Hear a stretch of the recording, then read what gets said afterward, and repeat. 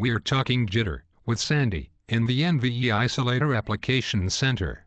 Sandy, what is isolator jitter and why is it important? Jitter can be a problem with conventional isolators. As this shows, jitter is variation in the pulse edge position of a data stream. Jitter is just so sad. Indeed. But NVE's IL700 isolators have a virtually undetectable 50 picoseconds of jitter, making them ideal for precision audio. How do isolators help audio circuits? Two ways.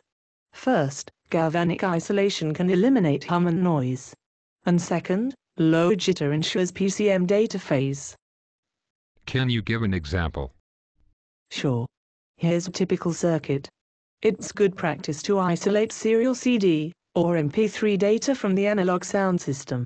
This eliminates ground loops, speaker hum, and high-frequency pickup caused by digital currents in analog paths. Thanks, that sounds good. Where can I get more info?